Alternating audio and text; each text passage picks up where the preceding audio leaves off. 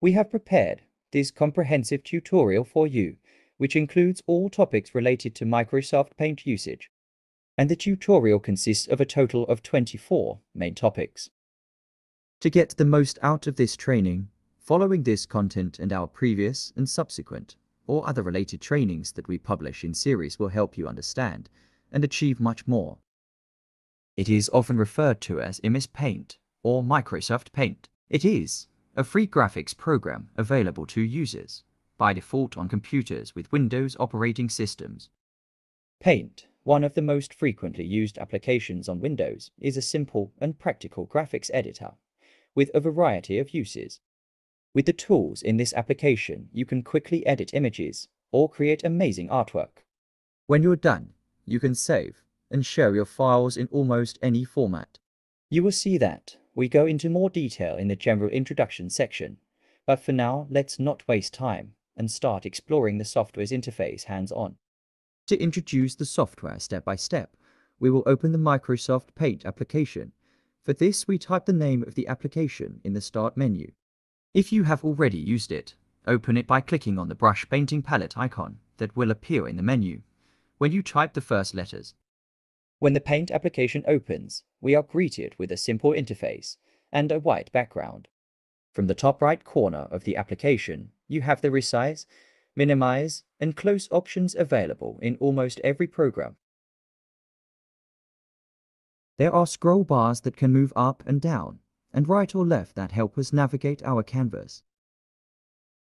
The zoom in and zoom out slider at the bottom right allows us to zoom in and out of the image in percentage units. At the bottom left, in the status bar, our canvas size is given in the corresponding unit. In the far corner, there is an information section showing the coordinates of the mouse cursor in the corresponding unit. Our default unit is in pixels. When moving the mouse cursor on the canvas, you will instantly see the coordinates of the mouse cursor in pixels. Above is the title bar, where the current name of our study appears. In general, if we need to name the sections where the tools are located under the main menu tab, there is the toolbox with basic tools such as clipboard, drawing tools, pencil or eraser brush. Right next to it are the shape tools, and the size and thickness options of the selected tool, and finally our color palette and our panel for editing color properties. In the upper left corner is the File menu, which you can find in almost every program. The first lines of the File menu contain options such as Open a new or existing image file, Save Work, Save As. As you can see from the Save As option, almost all image recording file formats are available, including some of the most common ones. The menu continues with printer-related commands, printing and preview options. We can transfer image files from a scanner or camera. We can send the existing image file as an attachment to an email message or set the existing image file as a desktop background. Under the File menu, there is an option to close the program and an About section, as well as options such as feature settings. Within the Image Properties setting, there is a section where you can specify the height and width of the canvas, that is the size of the canvas, and different options such as black and white or color, depending on the unit preferences. The resolution is normally 120 dpi. Preferably, we set the height in pixels to 1080 and the width in pixels to 1920. At the top left, there is a customizable quick access toolbar where the floppy disk option can be thought of as a shortcut to the Save option in the File menu. We can add or remove printer and other options from the Quick Access toolbar. The most commonly used ones are usually the Undo or Redo Last Action shortcut and the Save options. At the top is the title bar we mentioned earlier, which contains the current name of our work. In general, we have already mentioned the main menu tab, and before entering the View tab, we make a small change to our canvas with the pen tool.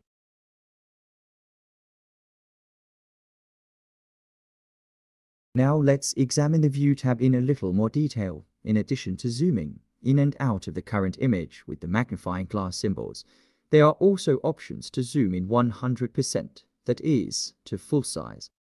In the View section, we have commands to display the image full screen and as a thumbnail. In the Show or Hide section, options are available for displaying the status bar and grid lines as well as rulers. Preferably, we activate the rulers. Once we have maximized the zoom, a coordinate system where we can control pixel levels at an atomic level could provide more visual aids for navigation as well as rulers that give us the sharpness of grid lines and pixel coordinate information from the status bar.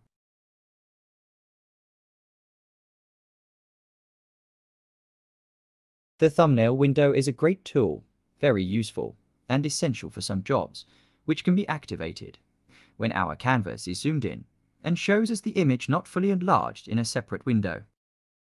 Once the thumbnail window is activated, we can define how much space it will display and position it freely by drag and drop. The thumbnail window closes automatically when my canvas is normal size or smaller than normal size. We will explain the benefits of grid lines and all the other tools in much more detail in our future tutorials. The image tools under the main menu tab allow us to perform many image manipulation operations such as cutting, selecting, and cropping on the whole image or on selected images. We can resize, rotate, orient, and more the entire canvas or a selected image fragment.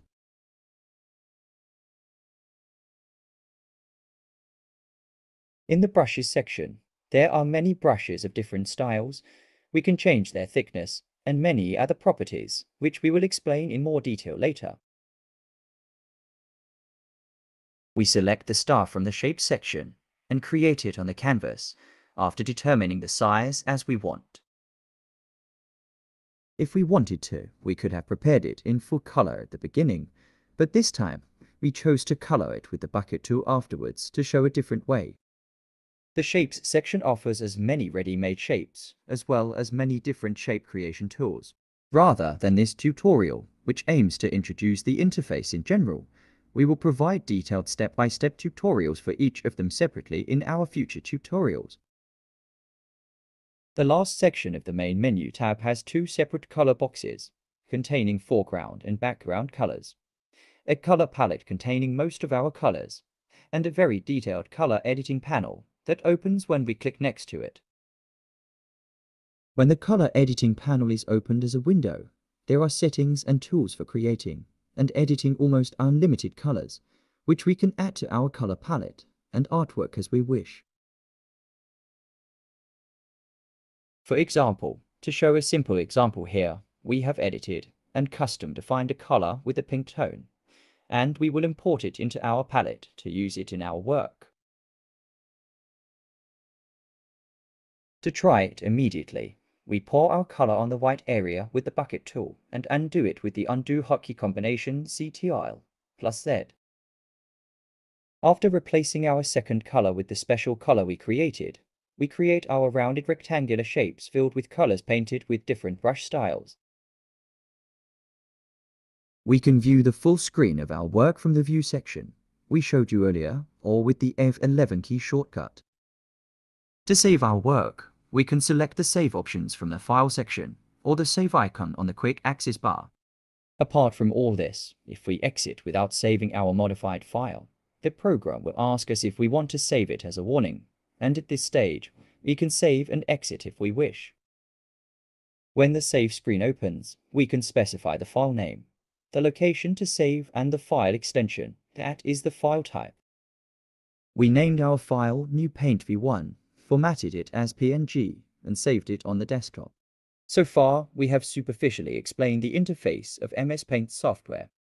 In the following lessons, we will show you the details of all these tools and their purpose one by one, step by step. When we open the MS Paint program, we are greeted by a clean blank canvas. Canvas is simply the name of the surface on which we draw or paint. Our drawing and painting takes place only within the canvas area. If we have used the program before, the size of the canvas, that is height and width, is in the last setting we used. We moved a little bit away, and canvas is exactly this area that we have framed in red. In the previous lesson, we introduced the scroll bars we use to navigate the canvas and shared some other important information about the canvas. Now, let us briefly recall. There are scroll bars that can move up and down, and right or left that help us navigate our canvas. The zoom in and zoom out slider at the bottom right allows us to zoom in and out of the image in percentage units. At the bottom left, in the status bar, our canvas size is given in the corresponding unit. In the far corner, there is an information section showing the coordinates of the mouse cursor in the corresponding unit. Our default unit is in pixels. When moving the mouse cursor on the canvas, you will instantly see the coordinates of the mouse cursor in pixels. Above is the title bar, where the current name of our study appears. In the upper left corner is the File menu, which you can find in almost every program. Under the File menu, there is an option to close the program and an About section, as well as options, such as feature settings. Within the Image Properties setting, there is a section where you can specify the height and width of the canvas, that is the size of the canvas, and different options such as black and white or color, depending on the unit preferences. The resolution is normally 120 dpi. Preferably, we set the height in pixels to 1080 and the width in pixels to 1920. Yes, after following our reminders from the information we shared earlier, let's go to the image properties again to resize our canvas. As you can see, our current canvas has a pixel width of 2048 and a height of 1080 pixels. We set the width to 1920 pixels and the height to 1080 pixels. Earlier, we showed how to zoom in and out of our canvas. Now let's show the shortcut option. We can use the key combination CTRL and mouse wheel to zoom in and out of the canvas. In the previous lesson, we showed you other ways to zoom in and out and the option to see the canvas in full screen. In addition to all this, let's briefly recall some other important tools useful when using the canvas, such as rulers and guidelines. And before entering the View tab, we make a small change to our canvas with the Pen tool.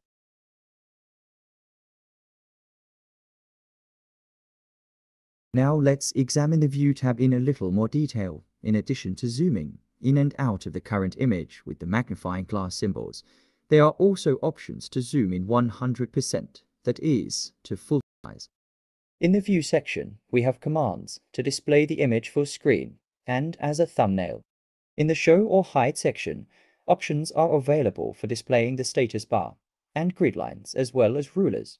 Preferably, we activate the rulers. Once we have maximized the zoom, a coordinate system where we can control pixel levels at an atomic level could provide more visual aids for navigation, as well as rulers that give us the sharpness of grid lines and pixel coordinate information from the status bar.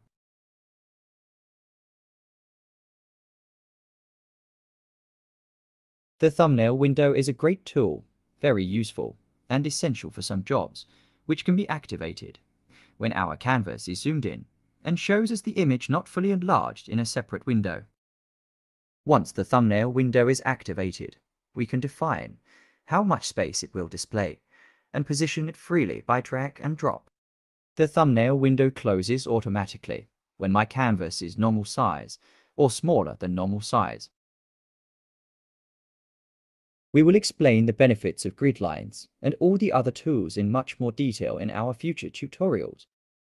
With the reminder out of the way, we make a few random drawings on the screen with the pen tool to make our changes visually more obvious and easy to understand.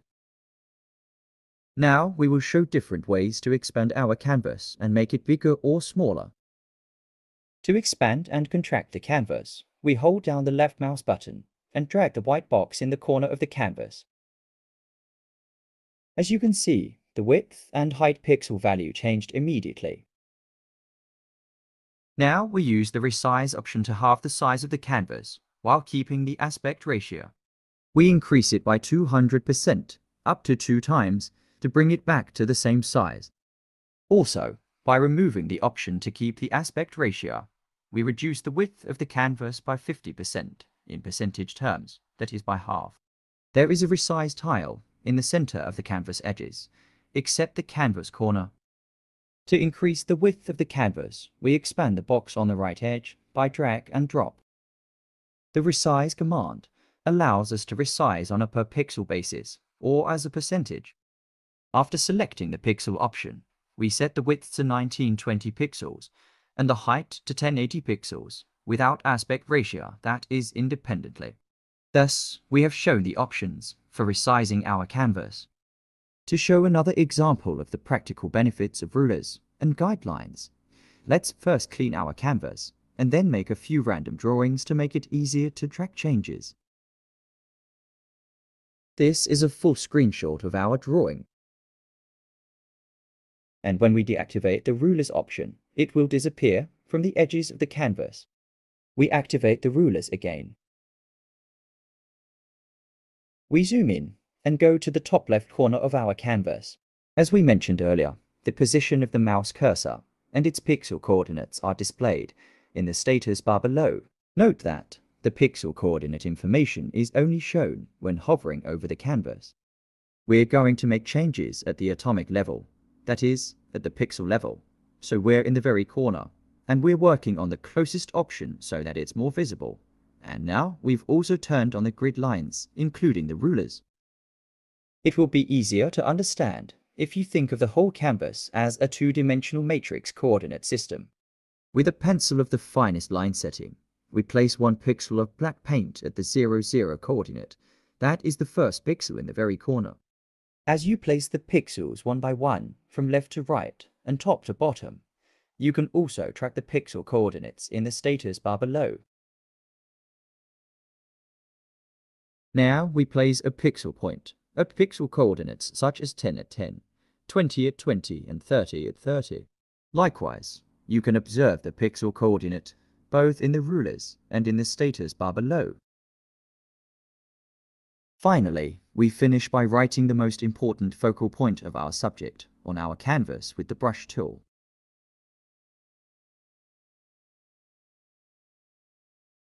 We talked about it in detail in our previous lesson.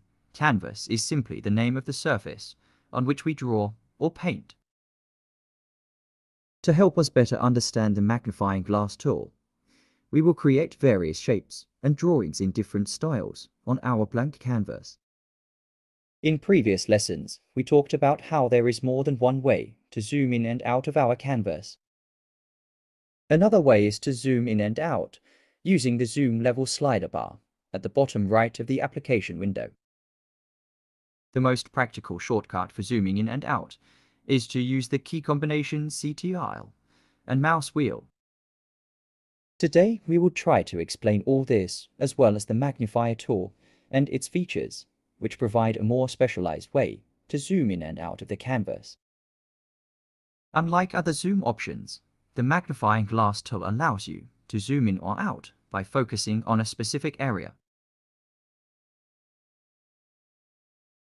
Because the magnifier tool zooms by focusing, it allows you to zoom in on the selected area without moving away or disappearing from the zoomed area. When using the magnifier tool, you can zoom in with a left mouse click or zoom out with a right mouse click. Note that the zoom distance size in the zoom level slider bar changes automatically when we use the magnifier tool or zoom in and out. In particular, we can use the magnifier tool to directly select and focus an area and work on it in a detailed and precise way. As we mentioned earlier, we can use the right mouse button with the magnifier tool selected to zoom in and out on the canvas.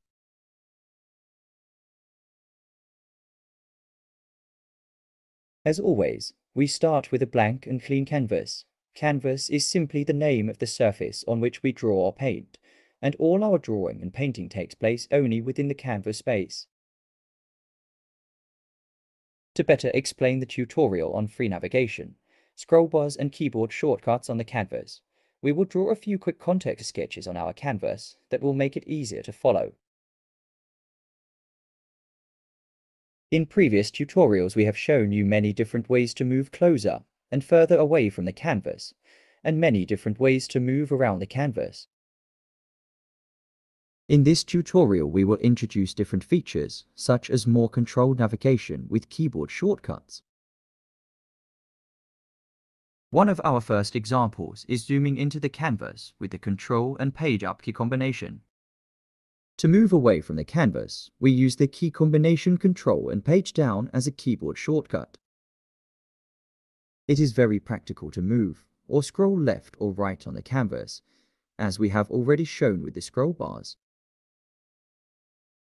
And now we will show you shortcuts with the keyboard, including cross directions. For the right direction, we use the key combination Control and Right, and for the left direction, we use the opposite key combination Control and Left. To move up or down, the Control and Up or Control and Down key combinations will help. It is possible to pan or move the image in diagonal directions. For this, we use combination shortcuts with both directions together. Left uses the key combinations Control and Up and Left for the up diagonal, while right uses the key combinations Control and Down and Right for the down diagonal. Similar logic applies to scrolling and navigation in all other directions. If we include the Shift key in addition to all these key combinations, scrolling and navigation will become faster. To give an example, we use key combinations Control and Shift together with up and left to scroll faster to the top left diagonal. The pen tool helps us to freehand draw according to the selected thickness settings. The size panel has four settings from thin to thick. For a better understanding, we draw sample lines on our canvas with four different thickness settings. However, the thickness setting is not limited to just for options. To access more thickness options, we can use the key combination Control and plus as a shortcut. With the pen tool selected, we thicken our lines. With the key combination Control and plus, and thin our lines with the key combination Control and minus. For a better understanding of this topic, we will present all thickness options in an accelerated format. As you can see, after one level, we reach the limit of our thickness setting. The minimum thickness setting is 1 pixel. Let's create black rock-like images with the pen tool at its thickest and demonstrate another function of the pen tool. The other function of the pen tool is to draw with a secondary color or background color.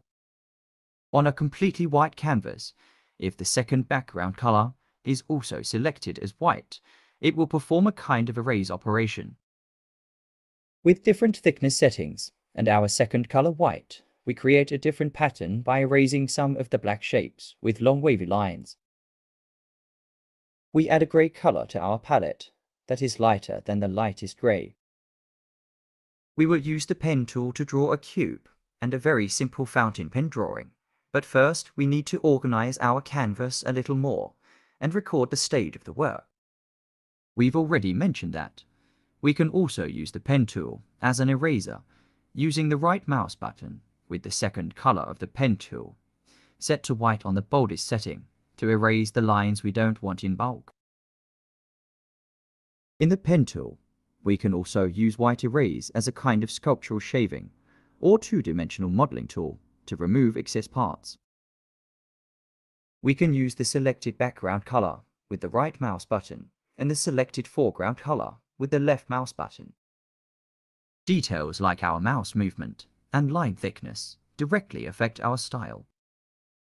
We organized our canvas space a bit more for a cube and a very simple fountain pen painting. With the pen tool selected, we roughly draw the positions and dimensions of our pen and cube shape with the thickest setting and lightest shade of grey in our palette. We completed the sketches with the lightest grey colour in our palette. Using the pen tool as an eraser, we now make this sketchy shape a little more elegant and save it.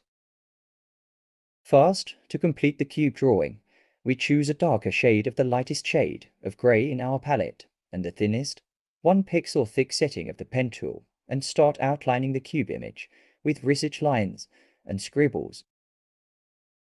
In the next step, we will make the edge lines of the cube more pronounced and give it a simple shading effect. To do this, we will go over the necessary areas and highlight them with dark grey tones and finally with black lines.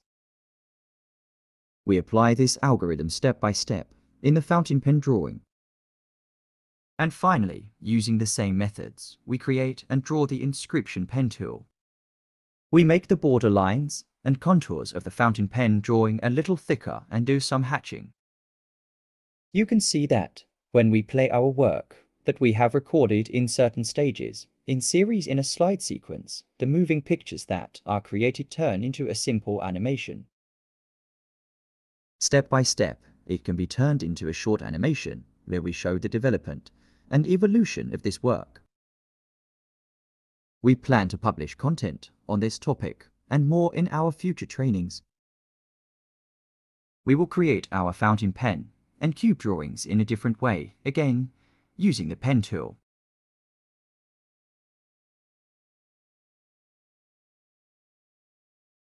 This time we're going to use the method we mentioned earlier more intensively and use the pen tool as a sculptor's tool to carve and shape the shape in more detail. We will make erasures, additions and edits to the shape to make the fountain pen form more distinct. By applying different thicknesses, we continue the process step by step until the shape we start to create is a thinner, elegant, and distinct fountain pen. We will use the same methods to create a special style of text. As with the previous work, we save our work at certain stages. Again, we turn it into a simple animation or a series of moving pictures that we can play in series on a slide.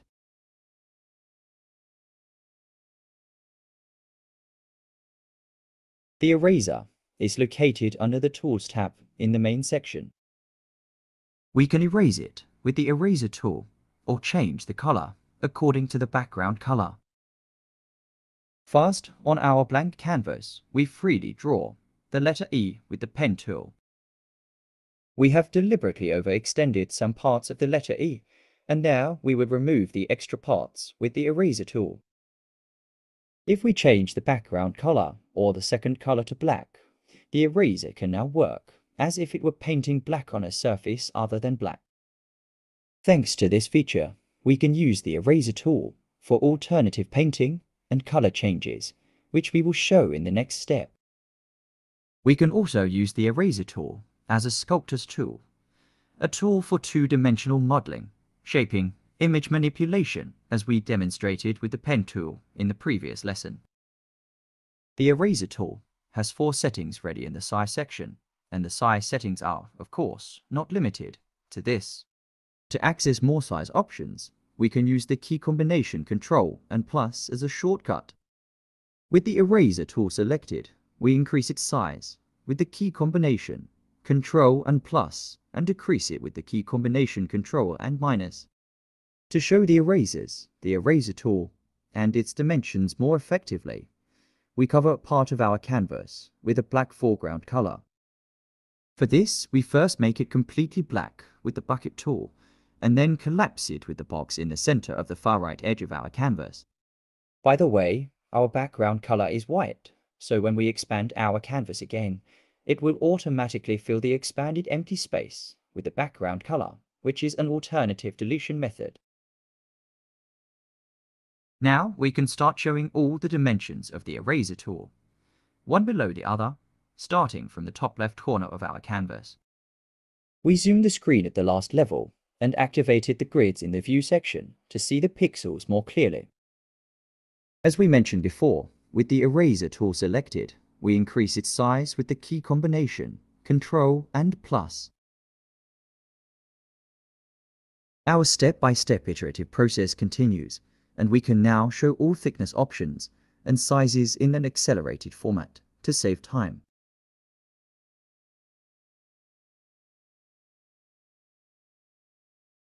After a level, the size will no longer increase. For the eraser tool, there is a size scale from a minimum of 1 pixel to a maximum of 50 pixels. Earlier we mentioned that we can use erase operations to manipulate shapes or images. For different image manipulations, we can perform basic operations such as adding or subtracting and deleting from the shape. We can record our work up to this point if we wish. Next, we will provide examples of many more different features and uses of the eraser tool. We change the second color also known as the background color, to yellow and make some scribbles with the eraser tool. We continue to assign other colors as background colors. The most important point for the eraser tool is that it works according to the background color. Changing color with the right mouse button only affects the foreground color. But if we erase with the left mouse button, it will erase whatever color is on the surface. If the surface is already the same as the background color, it will remain the same as there will be no change, but it can erase all other colors. When we select and move or completely delete a region with the selection tools, the empty space will automatically be filled with the second color, also known as the background color. Let's do a few small examples in the lower section. We will draw and prepare some basic shapes on our canvas to illustrate the different uses of the eraser tool. We use the eraser tool to draw and shape a large letter R using the methods we've just described. We place other letters and shapes that have been colored or will be colored later on our canvas. So, as promised, at this stage, we can provide more easily understandable examples of the different types of use of the eraser tool.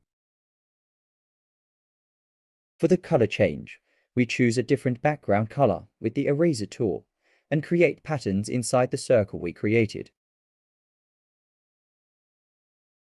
In the same way, we can apply these operations to other letters and shapes.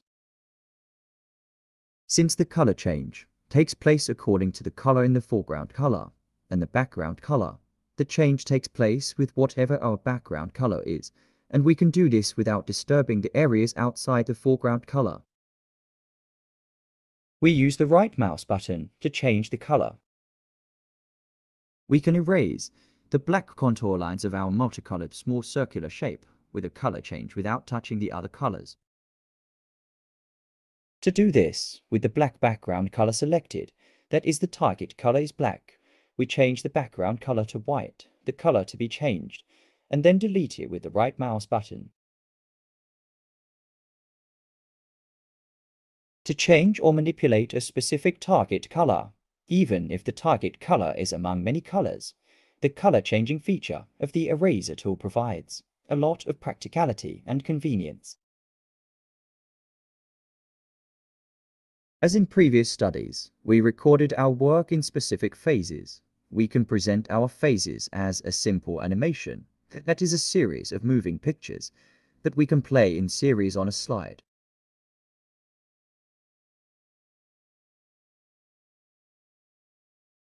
Before moving on to the brush tools in turn, we will talk about their similarities and differences with the pen tool.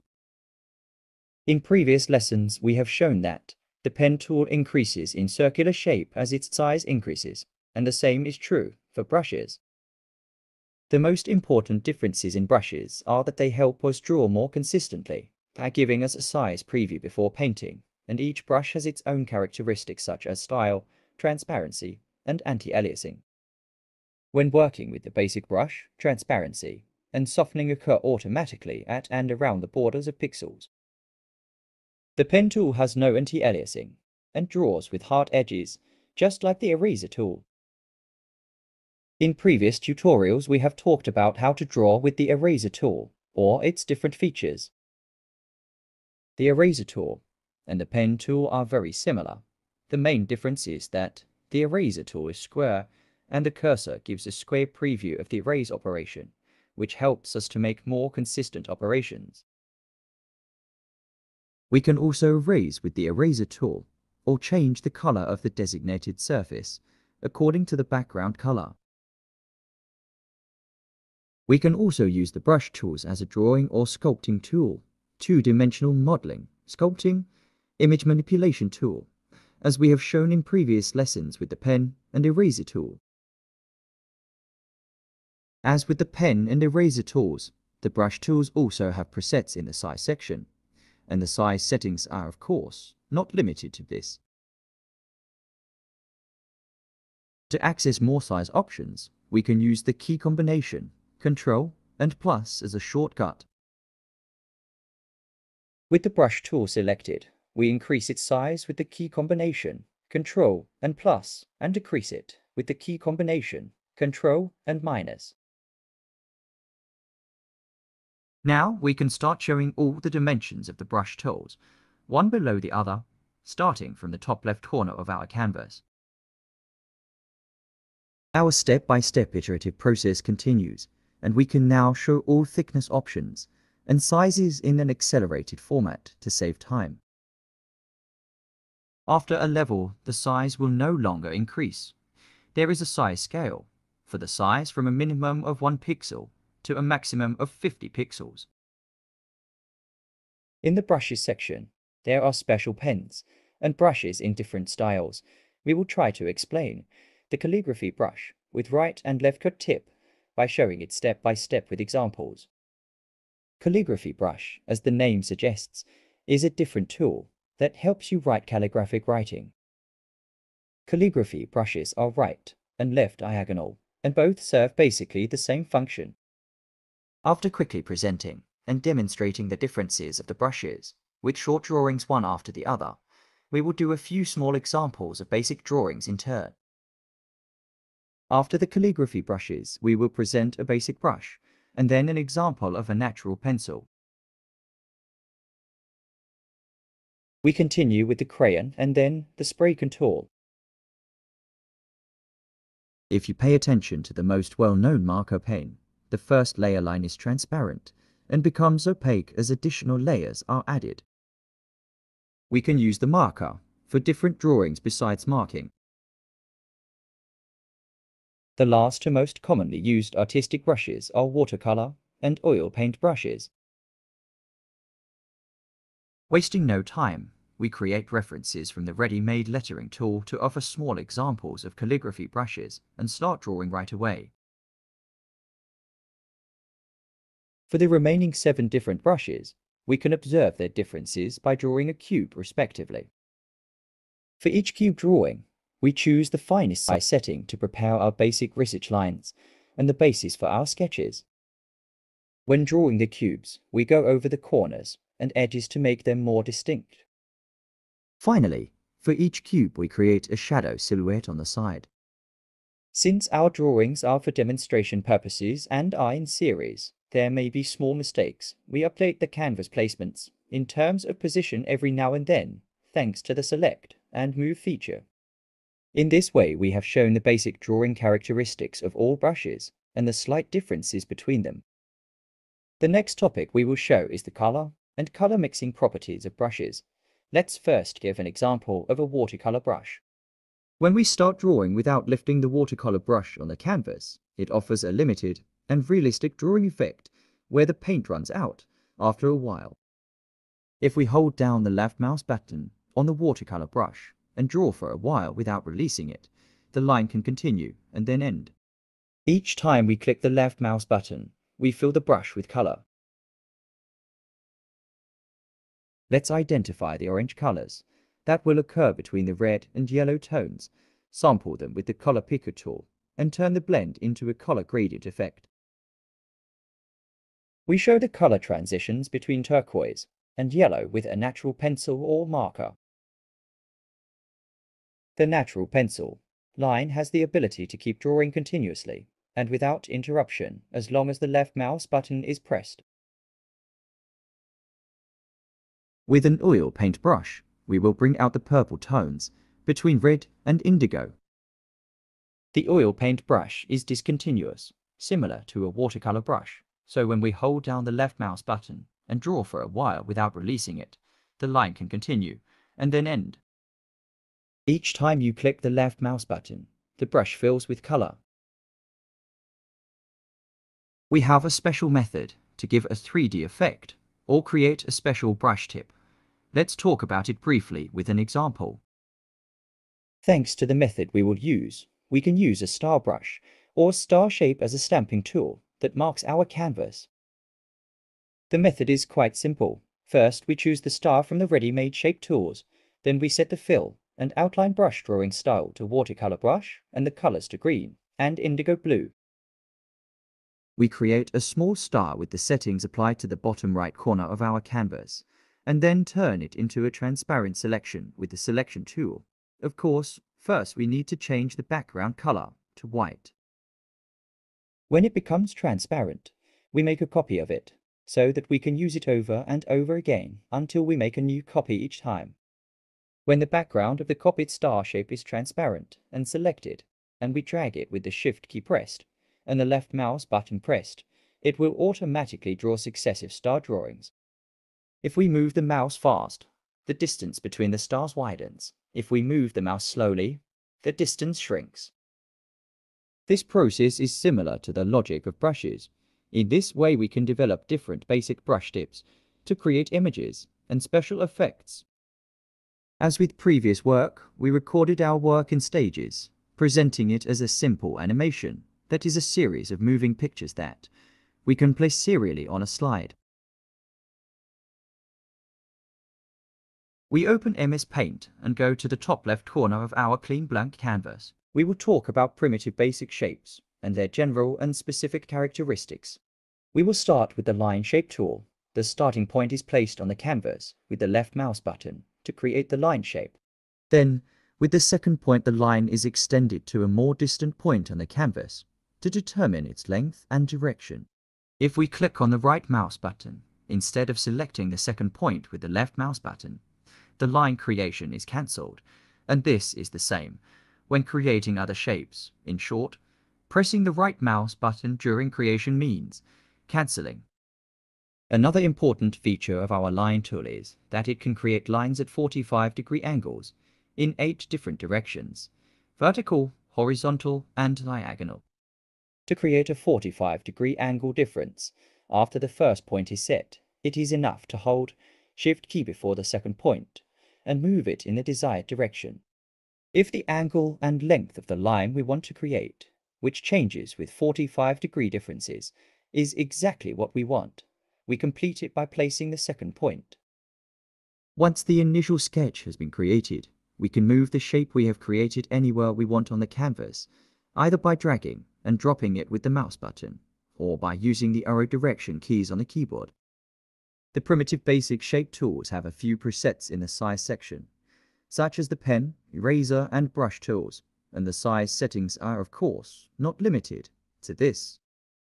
As promised, we will quickly show the thicknesses or all sizes of the line tool from 1 pixel to 50 pixels respectively, starting from the top left area of the canvas. To access more size options, with the Shape tool selected, we increase its size with the key combination Control and plus and decrease with the key combination Control and minus. In an iterative step-by-step -step process, we show all thickness options or sizes in an accelerated way to save time. Our next basic shape tool is the curve tool. The curve tool helps us to produce a curved bent line.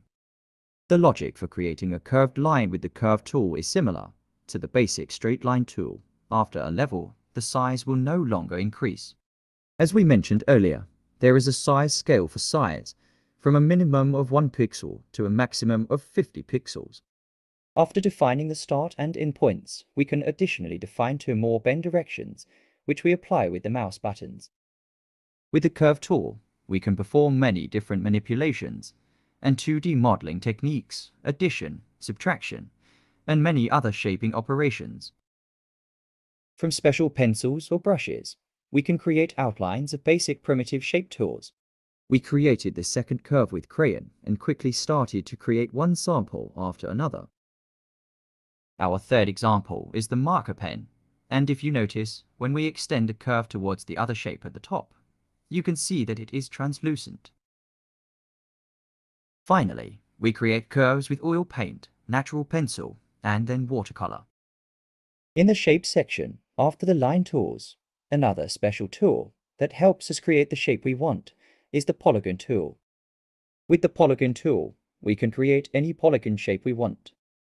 First, we select the polygon tool, and with the left mouse button, we place the number of vertices we want the polygon to have on the canvas, and the edges in between will automatically form. To connect the last two points, we can overlap the start point and the end point and click. Or we can double click from where we are and the shape will be automatically completed. Once our polygon shape is complete, if we have not clicked anywhere else on the canvas, we can resize the polygon shape. We create other polygon shapes with different brush and pencil styles to show inside our polygon shape. With the rectangular shape tool, we can create a square shape. To do this, hold down the Shift key and use the left mouse button to stretch the shape to another distance, and then release the left mouse button, and the shape will form in the size and orientation you specified. We will show variations by creating square shapes with different brush and pencil styles for outline and fill. Whether outline or fill, the process we have done so far is the same as with the other shapes. We can quickly start showing examples of other primitive basic shapes. Once the first sketch of the shape has been created, click on it with the right mouse button, and in the property window that opens, there are options to rotate the shape. We can also use basic primitive shapes to draw three-dimensional objects we immediately create an example of a rectangular prism and cylinder drawing. In our previous brush tutorial, we talked about a special way to create a 3D effect or special brush tip. Thanks to this method, we can use a shaped brush or shape as a stamping tool that marks our canvas. The method is quite simple. First, we choose one of the ready-made shape tools or basic line shapes and create it on canvas. When the background color is white, we create a copy of the shape with a transparent selection. When the background of the copied shape is transparent and selected, if we drag with the Shift key pressed and the left mouse button pressed, it will automatically draw from one shape to another and fill them in close sequence. If we move the mouse fast, the distance between the shapes will widen. If we move it slowly, the distance will narrow. This process is similar to brush logic. In this way, we can develop different techniques to create special images and effects. Also, to draw one by one, when the background of the copied shape is transparent and selected, pressing the Control key and pressing the left mouse button each time creates a stamp, or the arrow direction keys can create a stamped shape right next to a unit. But this time we will also add a few creature images from nature to inspire us with colors to better understand the subject. If we briefly mention our color tools, the first one is the color picker tool. With our color picker tool, we can select a color on the canvas and use it for drawing. My next color tools are color 1 and 2, so color 1 is the foreground color that we can usually use with the drawing tools directly with the left mouse button and represents the outline color for the shape section. The second color, background color, is used with the eraser tool or as a fill color for shapes. We have many ready-made colors in our color palette and we can assign them to our first or second colors. We can also edit the color palette and add new colors for this. We have the Edit Colors panel. We will talk about the Edit Colors panel in detail along with the other tools. First of all, as we mentioned, for a better understanding of the subject, we include a few images from the creatures in nature on our canvas to inspire us about colors. Notice that the creature images we added from nature to inspire us, such as birds and flowers, have many more colors than our ready-made color palette. When we hover over some of the colors in my color palette, we can see their names Without wasting time, we open the Edit Colors panel to work with more colors. In the Basic Colors section of the Edit Colors panel, we can add more colors from our ready-made color palette or replace them with existing colors by selecting and confirming these or more. To show the first example, we choose three different colors in dark navy blue tones and include them in our color palette respectively, and apply them with a brush for a clearer understanding on the canvas. In the left section of the Edit Colors panel, the RGB, red, green, blue, color model, and its alternative HSL system, hue, saturation, and luminance, both methods represent a given color according to their three basic criteria. In the RGB color system, one of three different color values ranges from 0 to 255. For the basic brilliant green color, green has a value of 255, while red and blue have a value of 0 and have a different numerical value in the HSL system. For the basic bright green color, the hue value can be represented by the numbers 80, saturation to 140, and brightness 120. We can select a color from the color map in the left section of the Edit Colors panel, or create the color by entering its numeric values in the RGB or HSL sections. Once we have created the color, we can confirm it and add or change it in the custom color panel or directly in the empty space in our color palette. Now we create the basic colors we will use, add them to our palette and then apply them to our canvas with a brush. By the way, the RGB color model, which we will talk about in more detail later, is an additive color model, and we quickly create a simple representation of it on our canvas. In the RGB color model system, red added to green produces yellow, green added to blue produces cyan, blue added to red produces magenta, and equally overlapping red, green, blue colors produce white. Next, we will talk about the CMYK color system and its differences with RGB.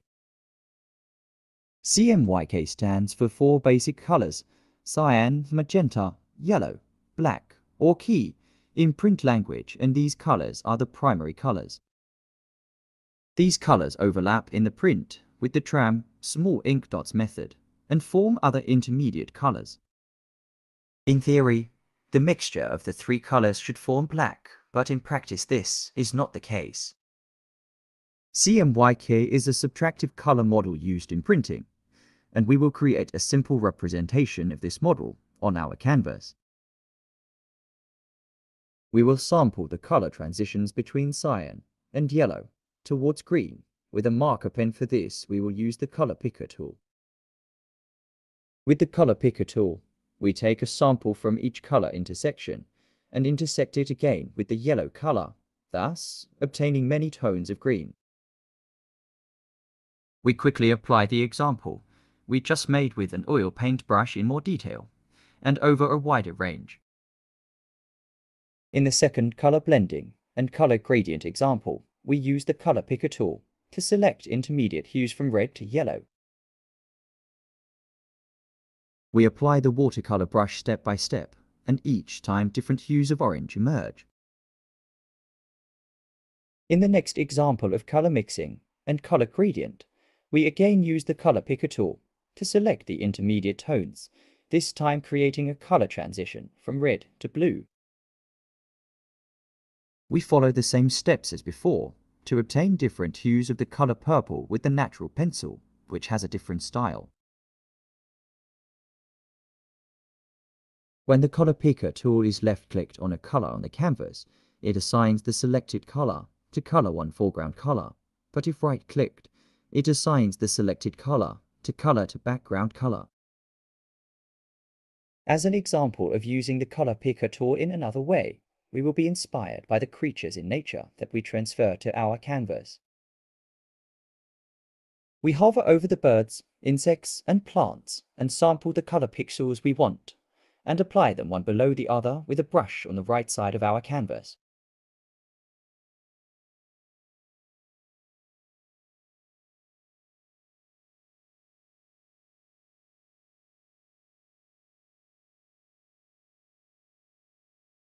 We usually use the bucket tool to fill a specific area on the canvas with color, but it is also possible to change the color of the entire canvas.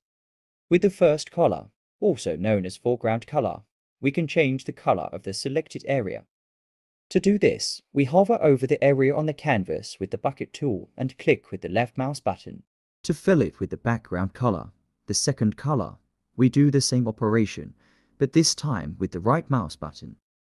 With the foreground color black and the background color white, we will now use the bucket tool to paint the canvas first completely black and then white, and with a few repetitions we will have demonstrated the most general application of the bucket tool. We are going to design a very simple mandala template to show in a simple way what it's like to use the bucket tool to paint a specific area or shape instead of the whole canvas and what we can design with it. When designing a mandala, we first prepare a symmetrical base for the outlines, then create other shapes step by step to develop the design. Since the main lesson is about the bucket tool, in this lesson we show the mandala design process in an accelerated way. Of course, we plan to publish more different, more detailed and more sophisticated tutorials on mandala design in the future. Once we have created the outline of our clothespin as a template, we will take a copy and move it to another area on the canvas, and then fill it with various colors with the bucket tool. We start by choosing a different color for the background color on the canvas, instead of white, and changing the background color using the bucket tool. When assigning colors from the bucket tool, it accepts colors other than the specified color as limits. In other words, the bucket tool affects color pixels for all adjacent identical colors, until another color arrives. Now, with the eraser, we erase some of the grey ring lines from the outline template so that they don't create borders or obstacles during color filling. Also, when we assign colors with the bucket tool, we remove some outlines so that they are not a boundary or barrier. We place the colors carefully and quickly in the areas we have determined. As we mentioned earlier, to assign a color to a specific area or change its color, we click with the left mouse button on the area on the canvas with the bucket tool selected. If we make a wrong paint fill, we can use the undo option or correct it with the bucket tool by reassigning the color to the same area. Instead of filling our mandala template completely, we filled only a part of it with the bucket tool in a time-lapse manner to serve as an example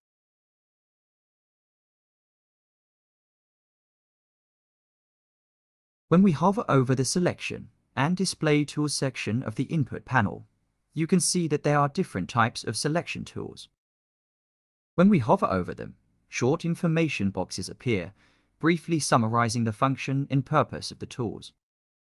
You can see the rectangular selection, freeform selection, select all, reverse selection, delete selection, and transparent selection preferences.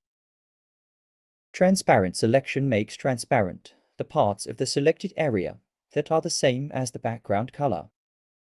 Our background color, as we have shown in previous lessons, is our second color and we can change it. We have the crop tool that helps us crop the selected area, which we will explore in detail in a moment. The other two tools are resize and rotate, which we use to resize or rotate the selected image. When we right-click on the canvas, with the selection tool active, a shortcut panel of selection tools appears right next to our cursor, from which we can select and use the same commands or tools. There is also a command to invert the color of the selected area or the entire canvas.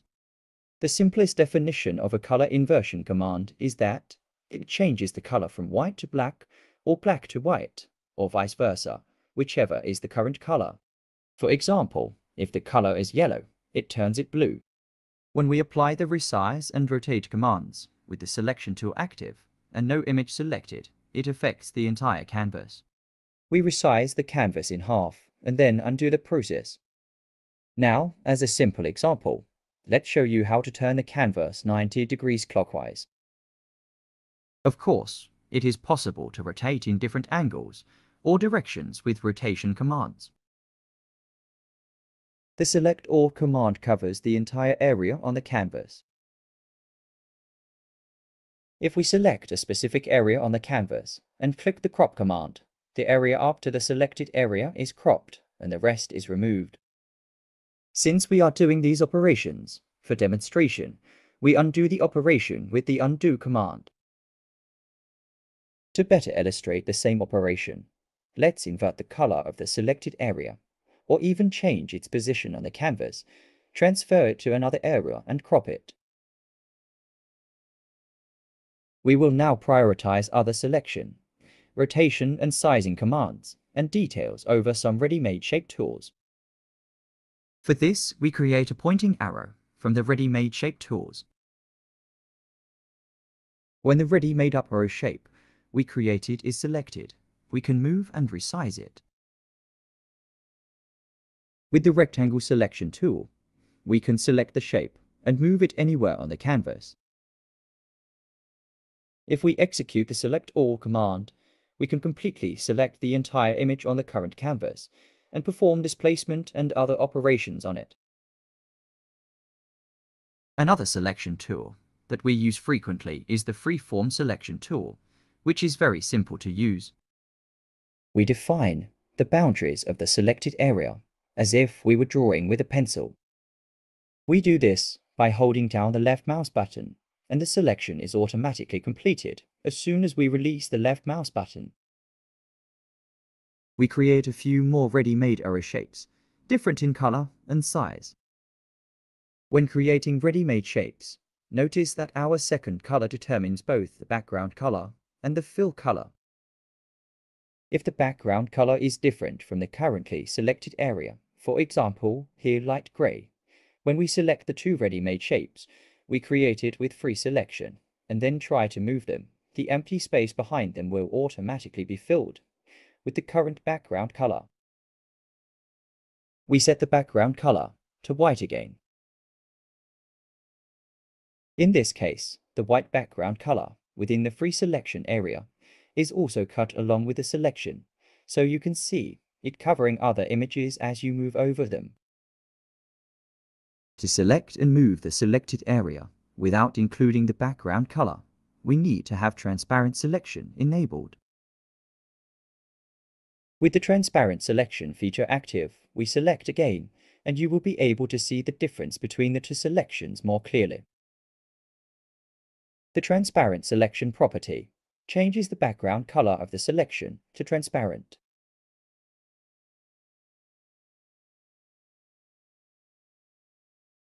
The selection tools allow us to cut, divide and redesign in different sizes, and the rest is up to your imagination and creativity. With the copy command, we can duplicate a selected area, image or object by copying it. We can control a selected object or area with cut and paste operations, but each time the pasted position is in the upper left corner and we can then move this selected area wherever we want. As we mentioned before, we can completely remove a selected area with the delete command. We can use the keyboard shortcut keys, Ctrl plus C for copying and Ctrl plus V for pasting, which are used in many programs. Let's show the crop command one last time for a selected arrow image and undo the operation. We will apply the resize command to our selected arrow image.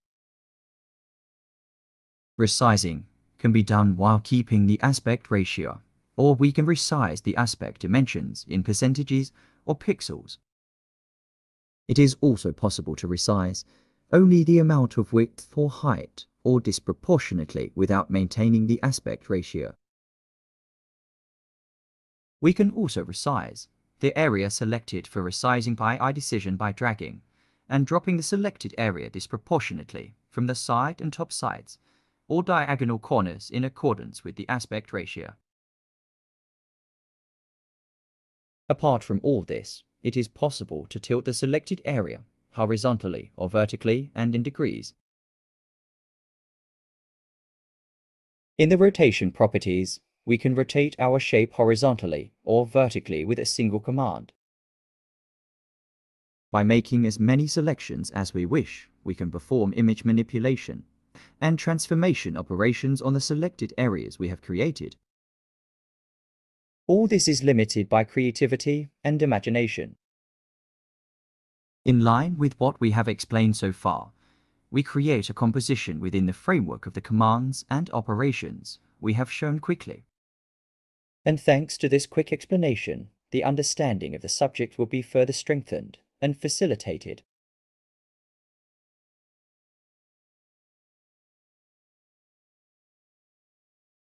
There is a huge paste icon in the clipboard section of the Home panel. When we hover over it and click on the bottom section, we are presented with two different copy options. The first is the standard copy command, the basic copy command that copies any image or object selected on the canvas. However, the second copy command is a type of import command and imports an image file from outside the existing file. When we click on the paste from command, a small window will open that will help us find the directory and address of the file to be transferred. From there we can select the address of the image file to be transferred and then open and transfer it. For example, we transfer a green themed wallpaper that is already on the desktop. We can cancel this action with the undo key. Unlike this method, we can easily open any image file on our computer with drag and drop. But remember that the existing file will be closed and we need to save it if it is a necessary work. If we have not made any changes to the image file we have opened, when we open another file with drag and drop, it does not give a file saving warning because there are no changes. The new file is opened directly and the old one is closed.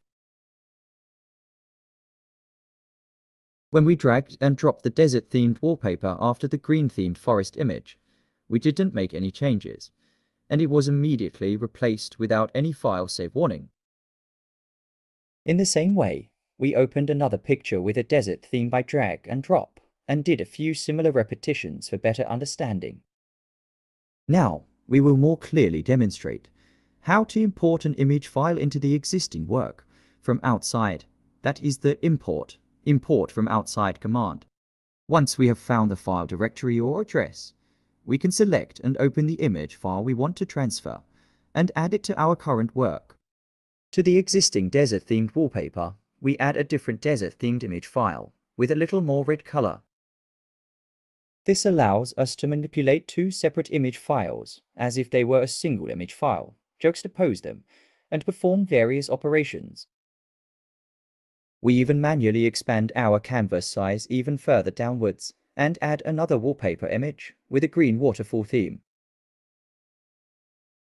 After manually cropping, we created a new image file from a collage-like combination of three different images. We can use the save or save as commands to export the newly created triple image from the inside, a kind of export. The Save As or Save As commands are available under the File menu, where we specify the type of file to save or the type of image file to create. It is possible to export it by giving it a new name via Save As.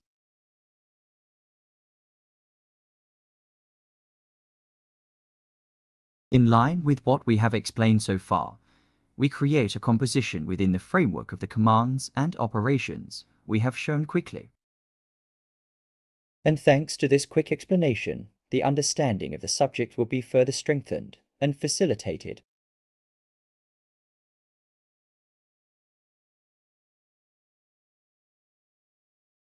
By selecting the letter A, which symbolizes the text tool in the Tools section, we can write the text we want anywhere on the canvas. With the text tool selected, we use the left mouse button to select the area on the canvas where we will enter the text. When the area to write text on the canvas becomes active, the Text Tools tab automatically appears above.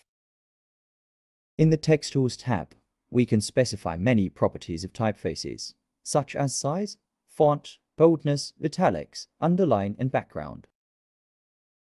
Although the ready-made text fonts are given values, between 8 and 72. We can change the font size values by typing the numbers we want from the keyboard. If the font size value we enter is larger than the text field we set, it is possible to expand and adjust the text field later. Here, let's quickly show some basic typing tool features on a letter T. As you can see, apart from bold, italic, underline and center line, we can change the font as we like.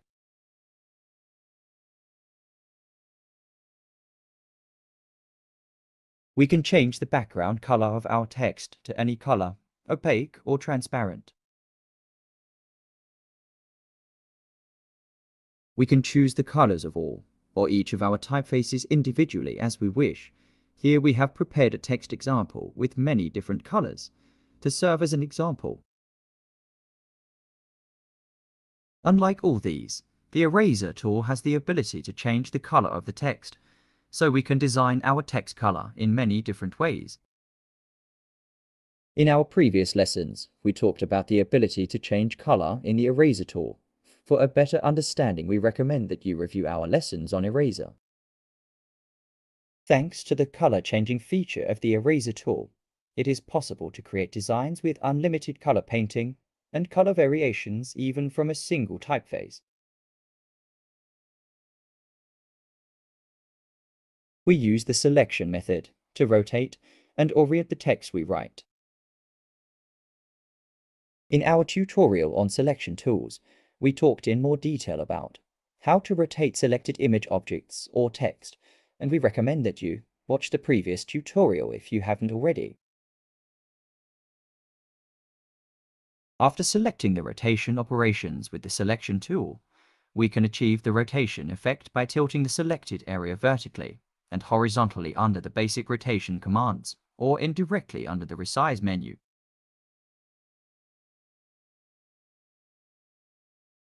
We can select the texts we have created and use other manipulation tools to make some changes to them or delete them completely. The 3D lettering effect is a feature we have already discussed in detail in the brushes and shapes tutorial.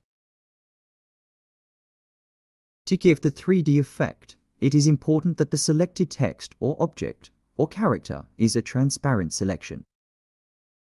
We can create a 3D or relief effect by first holding down the Shift key on the keyboard and then moving the transparently selected text with mouse movements or with the arrow direction keys on the keyboard. Another important text effect is to completely cover our text with a pattern. To do this, we can import an external image file onto our canvas, which we will use as an overlay. Our first step is to import an external image file. We also recommend the previous tutorials, where we went into detail about importing an external image file. Previous content always contributes to a better understanding of the topic. From the outside, we place a wallpaper with the theme of green dense leaved forest plants on our canvas and resize it. This time, we want to show it with a larger text, so we expand our canvas area with the mouse to provide a little more working space. We will then bring the canvas area back to its original size. On a blank part of the canvas, we wrote a text of our choice in one color and black, either by writing it or taking it from somewhere. We set the second color, our background color, to black and then enabled the transparent selection feature from the selection tools. With the transparent selection feature active, we select our text from the image file we imported from outside and align it as we want. Since the text part of our selection is transparent, the outer white area of the selection acts as a kind of mask, so that our text automatically appears to be colored with the color of the area below it. Once our alignment is complete, we click on an empty space on the canvas to create our textured pattern text, deleting and removing unwanted or excess pieces. We design a similar example in a different writing style by transferring a different image file for better understanding in an accelerated way. As we mentioned earlier, the manipulation techniques that we can apply on canvas with selection tools and other tools and commands can also be used on text, including inverting colors. In line with what we have explained so far, we create a composition within the framework of the commands and operations we have shown quickly. And thanks to this quick explanation, the understanding of the subject will be further strengthened and facilitated.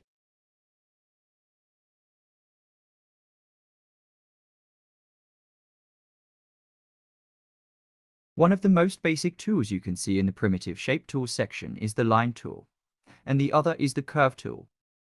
With these two basic tools, you can derive all other shapes.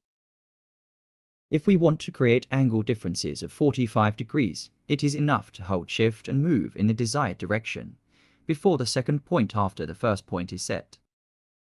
To create a curve tool, place the origin on the canvas with the left mouse button.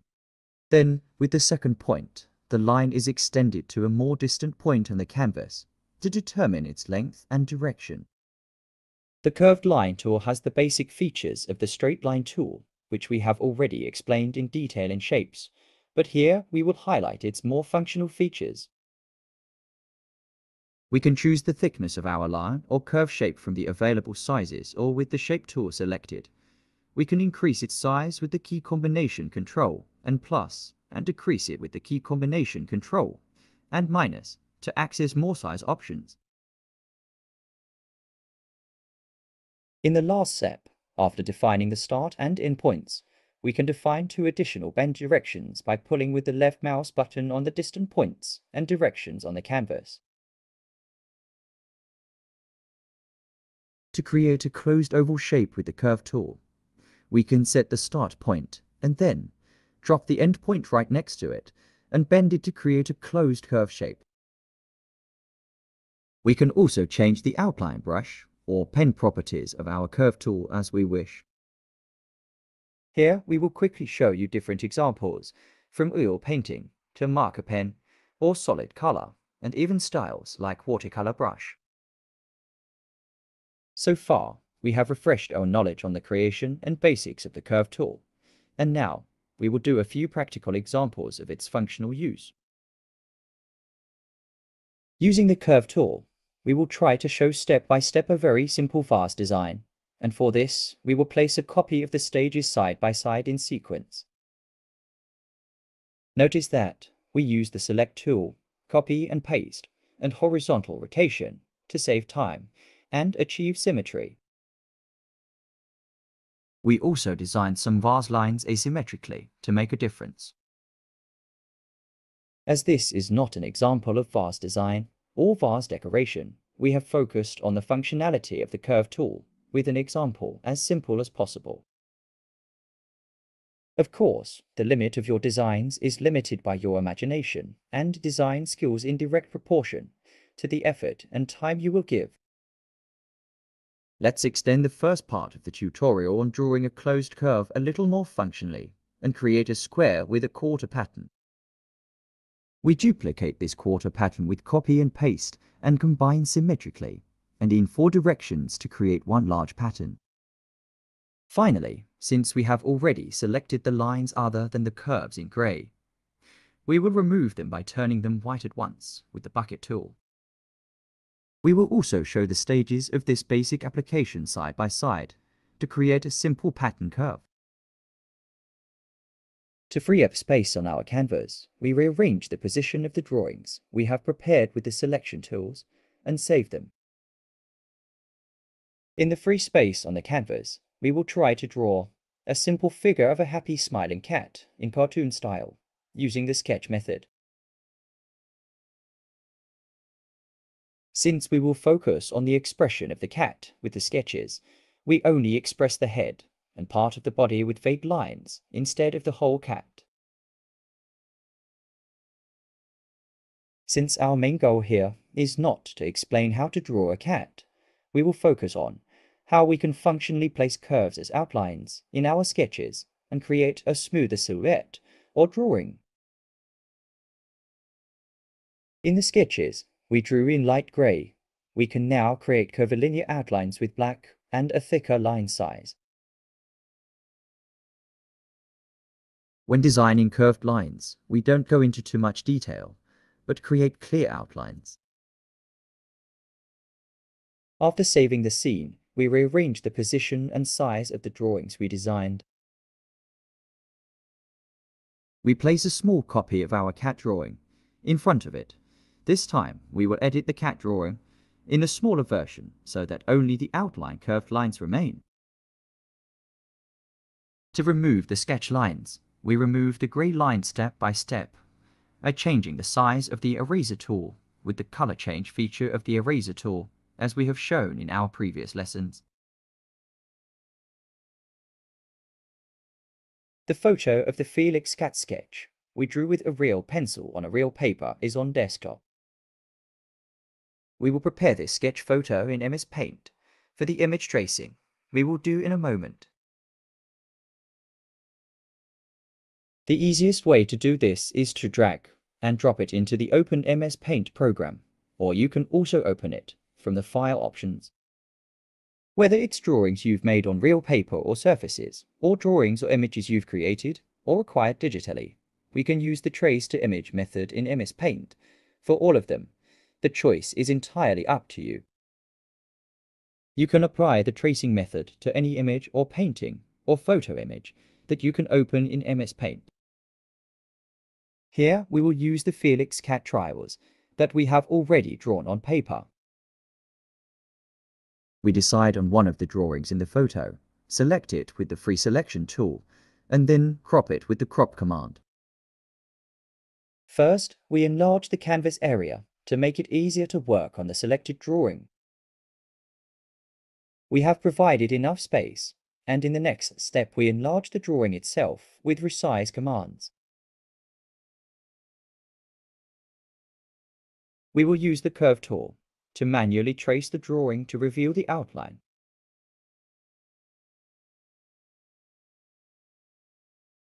With the Curve tool, we can emphasize curved and bent lines more beautifully.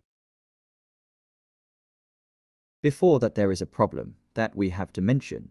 Our current drawing photo is very dark because it was taken without enough light. And the whites are not light white, and there are also very dark colors close to black. So when we choose the black color, the colors will blend together and it will be hard to distinguish. Here, we will try an alternative technique for the solution. We will place a rectangular white shape filled with a marker pen as a layer on top of the drawing image to brighten and whiten the image in MS Paint.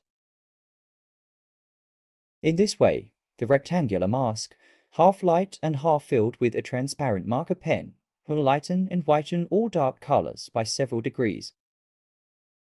With this translucent white mask, it will now be easier and more distinguishable to see a black colored drawing on the image. We erased the other parts of the canvas that needed to be erased and started tracing the drawing with the curve tool. We thickened it a bit so that our lines would be distinct.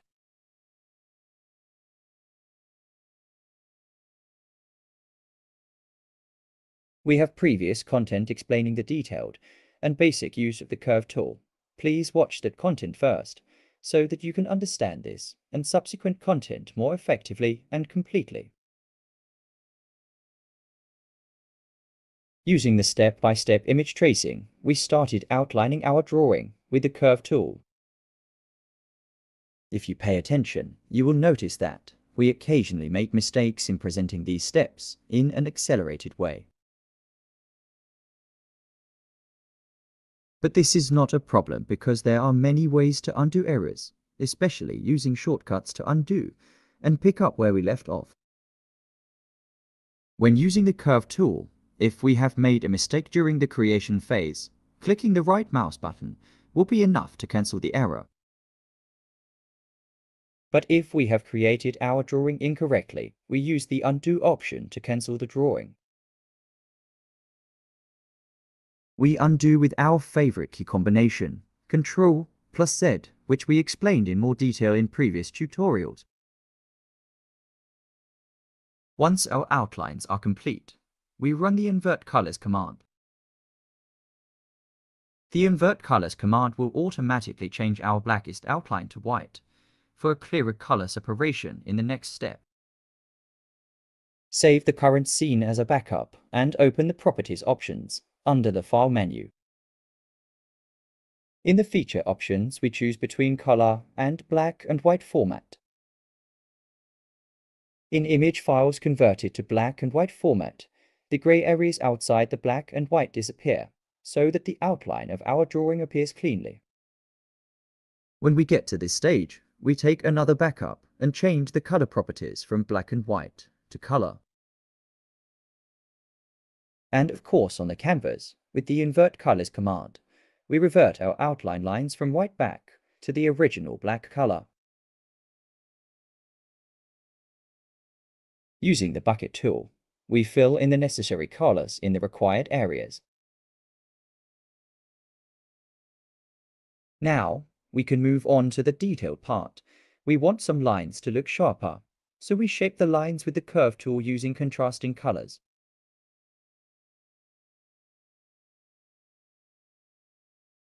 We change the position of the drawing we created to save space on our canvas.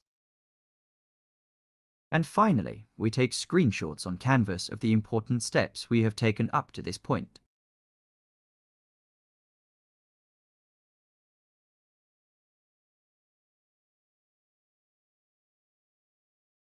In fact, MS Paint does not have a separate layer feature like Photoshop, GIMP or Krita. Here, we will only try to implement the layer logic in the most primitive and simple way on MS Paint in alternative ways. Working layer by layer will provide us with great convenience and manageability in our drawing and painting. With the method we will use, we will apply four layers. The first one is orange, to other shades of grey light and dark, and finally a black layer. You can use more or less layers if you wish. We will make a simple drawing of a cat's head. In our first layer, we will align and define the cat's head with the most simple and primitive geometric shapes. We chose orange as the color of our first layer to differentiate it from the other layers and make it stand out. Since the cat's face will be looking directly at us, we will design a drawing close to symmetry. To help ensure symmetry, we use the line tool to create a simple linear straight line base similar to a coordinate line. we place the ellipse, one of the primitive basic shapes, thinking of the usual boundaries of the head and centering the lines. This time we draw an exact circle to mark the cat's mouth area and place it appropriately. So, our first layer is ready. For the second layer, we will try to draw the silhouette of the cat's head in a light grey colour with the thinnest pencil tool. On the second layer, the aim is to roughly draw the shape with the first lines. We won't go into too much detail yet. After our second completed layer, we can start the third layer to correct errors and enter details. To make our lines a little more defined, we work with a darker grey colour and increase the thickness of our lines. In the third layer, the aim is to emphasize the shape a little more and to remove errors. The final version will be defined in contour lines. Our third layer is now complete, and the last layer, layer 4, is the layer where we will create the outline lines with the curve tool.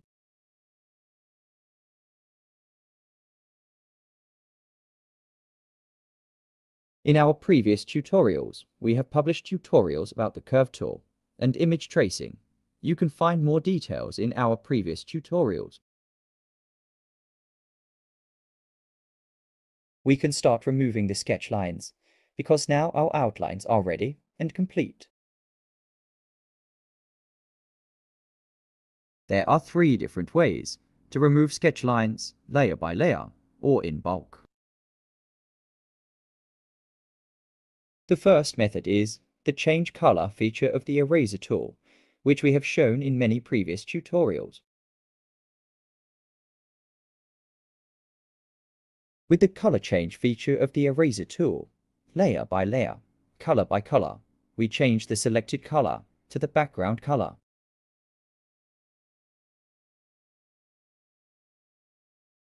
The second method is the method of filling and deleting the relevant color within a certain area boundary with the bucket tool. We can call this the color changing feature of the bucket tool, and you can find the details of this topic in our previous lessons.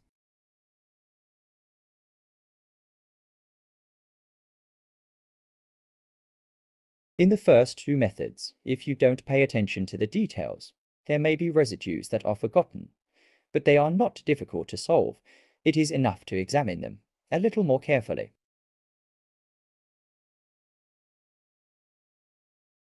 The last method, method 3, is a multi-step method that helps us remove all colors except black and white, which we explained in detail in our previous image tracking tutorial.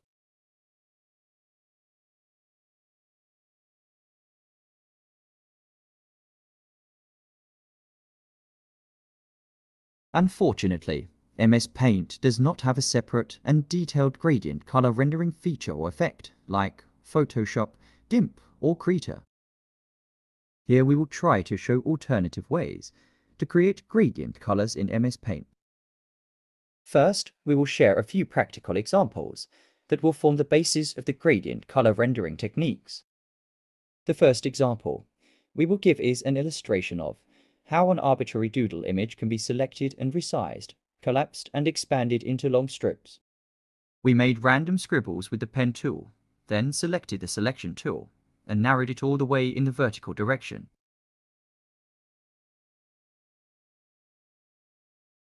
The narrow shape has almost disappeared, or has reached the size of one pixel, after which we stretch the shape by expanding it in the vertical direction.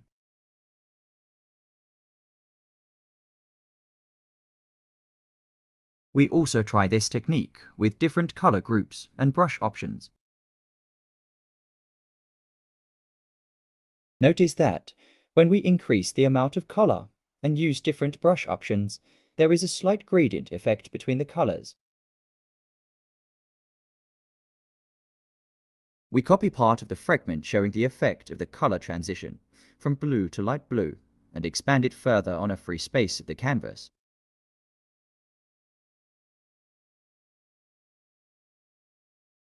The expanding image fragment is initially composed with a maximum of three blue colors, but thanks to the transitions between them, dozens of light blue tones can be seen expanding and multiplying with a gradient effect. Now that we have given the basic technique, we will show in a more comprehensive and specific way how to apply a larger and more uniform gradient color effect across the entire canvas. We start by cleaning the canvas, recording the stage we have reached. The first example we will do is to create a gradient effect of three basic colors. We create the colors black, light orange and yellow diagonally across the canvas in different proportions with the help of the shape tools and the bucket tool. The next stage is the resizing stage, where we first reduce the pixel value to 1 pixel on the horizontal axis, in pixels, and without preserving the aspect ratio.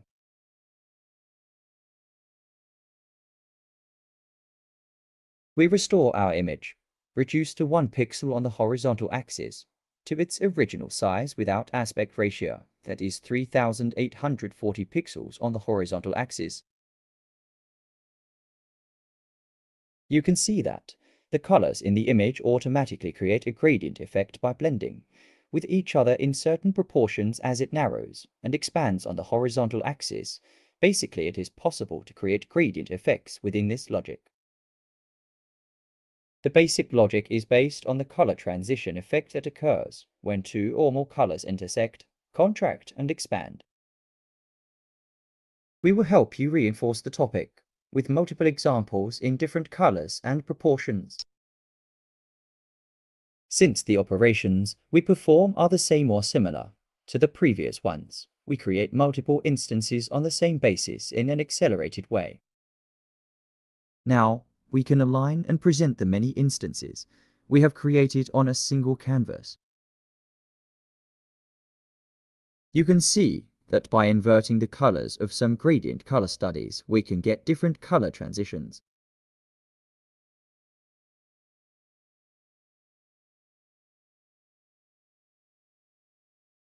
In MS Paint, we have multiple methods and techniques for mixing two or more colors together, and we will demonstrate them hands-on in turn.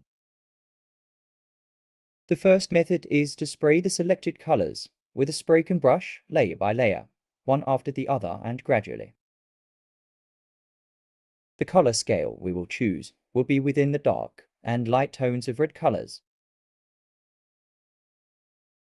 As a first step, we transfer the colors we will determine from the Edit Colors panel to our palette respectively. In our previous tutorials, we have provided detailed examples and explanations about colors and the Edit Colors panel. If you want to learn more, it is useful to review previous trainings. With the spraying method, we achieved a color transition from dark to light, a subtle, faint blending effect between colors and to make it more pronounced, we superimposed the copy of the sample we created on top of the other like a layer.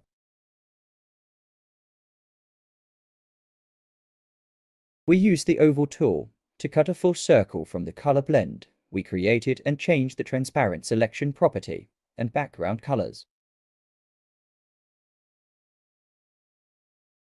We made similar examples when we discussed brushes and here we will develop the example a bit further. We achieve the color transition from red to yellow with an oil paint brush and by gradually mixing the intermediate colors. With the selection tool, we selected this newly created color blend. We create an example of a gradient effect by resizing the selection or manually collapsing and expanding it with the technique described in the gradient tutorial. By using different colors with different brushes, we can get more and more varied mixtures. Although the blending effect of each brush is generally similar, each brush has its own unique differences. We mix three different colors, side by side, to get intermediate colors and blends from indigo blue and light blue tones to light green, and we can select the intermediate colors between each blend with the color picker tool. As in the previous example, here we make an example of a gradient effect. In fact, the gradient effect is a color blending, a color mixing technique we have explained with detailed examples in our previous lessons on gradient. This tutorial includes a large gradient color creation example, which will also be included in the color mixing example. We record our progress and clean our canvas. Diagonally, one after the other, we create a total of six colors from yellow to orange to red, including purple and blue.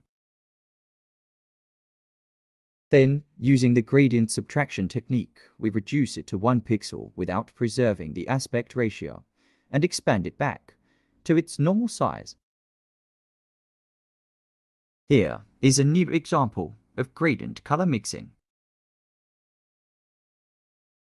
Finally, we display all these examples in sequence on a single canvas.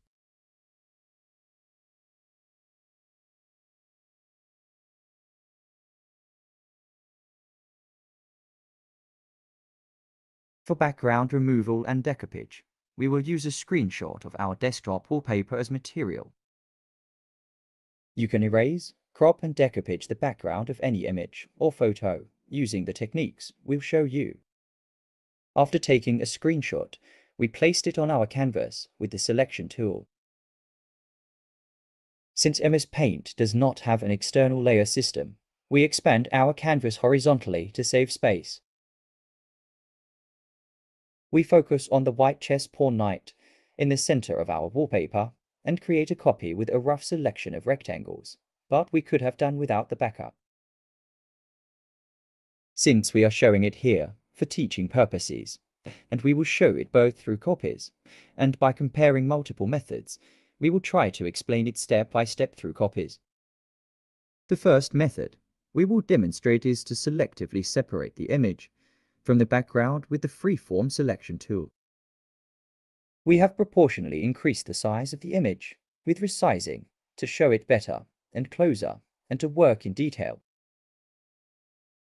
With the freeform selection tool, we can separate the image from the background with a single selection.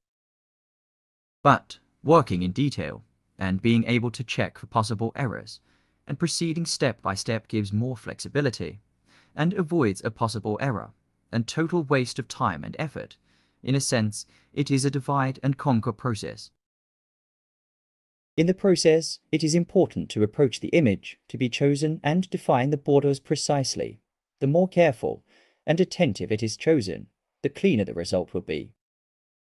If you did it a bit fast, like we did, you can use brush tools at the end to touch up and file of the excess. In fact, the most practical method is to use the bucket tool to eliminate the monochrome background using color differences. Unfortunately, it is not possible here if you notice there are too many intermediate tones in our piece, so this procedure is not suitable for this work. Some of the techniques we covered in our image tracking methods tutorial are also useful here for background removal and decoupage. With the line tool and the curve tool, we draw the image at its borders, and then with the freeform selection tool, we can remove it in a much more practical and less inaccurate way. Another version of the method we have just shown is to apply a mask method to separate the outlined image from the background in one go. For this method, it is necessary to apply the first parts of the first method. Therefore, we will be explaining the continuation of the process in practice with the copy we have taken from the video surveillance. We will go over the contrasting colors that we use in image tracking so that those who watched the previous lesson will understand this lesson much more effectively. In the previous image tracking tutorial, we set our outline to black. In this case, the black color contrasts very well with the outline background color and is therefore very appropriate. With the bucket tool, we immediately change the outline colors to black. The next operation is to invert the colors. To remove all shades of gray and other colors other than black and white, we change the color properties in the file menu from color format to black and white format and save the resulting outline drawing by cropping the shape. After all these actions, we reopen the record of our work from the previous phase. In this case, we import our outline figure image created by cropping the work. We invert the colors of the imported chess knight pawn mask figure after making sure that the transparent selection feature is active, we make a selection with the second color white, that is, the background color white, and place it like a mask on the image, whose background we want to delete. In the last step, we use the bucket tool to change the color of the mask area from a single black color to white, so that the background is completely cleared. When decoupage with masking, we can also use the primitive basic shape tools in combination with other methods. For example, after defining the boundaries of an image fragment, that is a complete circle, in the image with the oval tool, we can separate it from the background in a similar way to what we did in the last example, but in an even simpler way. Because the mask of this image fragment can be easily created by combining two basic shapes. As a general summary, we organize our canvas to show all the stages and methods we have gone through up to this point on a single canvas.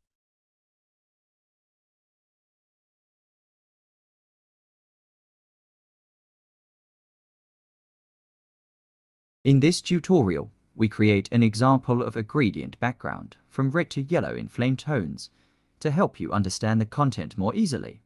If you want to learn more, you can watch our gradient tutorial. As we mentioned earlier, in fact, MS Paint does not have a separate layer feature, like Photoshop GIMP or Krita. Here, we will only try to implement the layer logic in the most primitive and simple way on MS Paint in alternative ways. Working layer by layer will provide us with great convenience and manageability in our drawing and painting and masking. In a sense, we can think of this background design gradient color as layer 1, or layer 2 if we count the white background. We minimized and made a copy of the red to yellow gradient layer we created and then inverted its colors. And if you notice, we have another example of a blue toned gradient. We set the background color of the empty part of our canvas as black to create a mask. To create a mask, it is enough to use two contrasting colors. The important thing is that these two contrasting colors do not mix as much as possible with the surface to be applied. You can also use green, pink, or any shade of grey. Since we are going to create a mask with a black background color, we need to use white shapes and lines, and of course, it is important that our second color, the overall background color, is white. Another very important issue is that area selection is done in a transparent manner. For demonstration purposes, we created a group of mask shapes from primitive ready-made shapes, selected them with transparent selection, and applied them to gradient-colored surfaces as a mask layer. We have explained this process in the previous training content about decoupage and background removal. If you have not watched it, we strongly recommend you to watch it. Now we have expanded our canvas area from the side to create a more complex mask shape.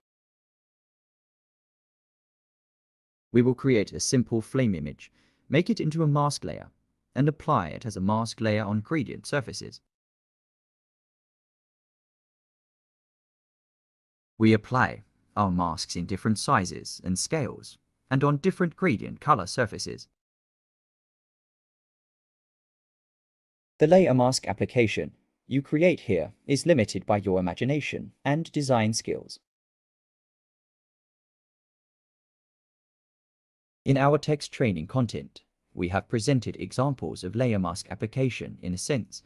We can create different designs with a text mask that we will create again over the gradients we have created here. Of course, we can also create a more complicated layer mask for example, we could create a triangular mask with a gradient blue flame icon inside and another design applied on a red background. As mentioned earlier, the layer mask application you create here is limited by your imagination and design skills. Finally, we summarize all this work by collecting our canvas There are four different image files that we keep on the desktop to turn it into pixel art. The first one is a simple umbrella drawing. We drag and drop the simple umbrella drawing into MS Paint, which is already open. Then select the whole image and gradually minimize it by pressing the Ctrl and minus keys. It is important to note that each time the image is minimized, the number of pixels is reduced by simplifying the image without preserving the number of pixels. When you press Ctrl and plus and gradually enlarge the image again, you will notice that the initial pixel density of the image has decreased and it has become more simplified and pixelated. In fact, pixel loss and new pixel intensification during resizing in MS Paint is a disadvantage while a feature like pixelization can be considered an advantage. There is an inverse correlation between the level of pixelization and the preservation of the original characteristics of the image. As pixelization increases, many pixels and colors become fewer and simpler, resulting in a new pixel density. So much so that if you try to the last level, you may end up with a few pixels when you enlarge it again. No matter the type of image or resolution, you can turn any image into pixel art by pixelizing it. We import four different versions of the pixelized umbrella drawing onto a new clean canvas. In the same way we transfer the other three images on the desktop to the canvas to pixelize them. For pixelization, we can perform the same operations on multiple images on a single canvas. We can pixelize them all at once or select them in order and pixelize them again. We pixelize the simple pineapple drawing by resizing it as in the umbrella example. As we mentioned before, it doesn't matter if the image we choose to pixelize is a drawing or a real photo. We can use this method for any image. Our next exercise is to pixelize a photo of a cherry. However, after a certain stage, we reinforce the thin cherry stem with brushes or line tools to compensate for the loss due to pixelization and then pixelize it again. As can be seen, after a certain stage, the pixelization process was successfully performed to reconstruct the image into equal artificial square pixels and fill in the missing parts. We can manipulate the image file that we are going to pixelize, fill in the missing parts, and make unlimited changes during the pixelization phase, and then intervene as we wish. Following the same step-by-step -step process, we pixelize the cropped green race car photo in several stages. Finally, we summarize all this work by collecting our canvas.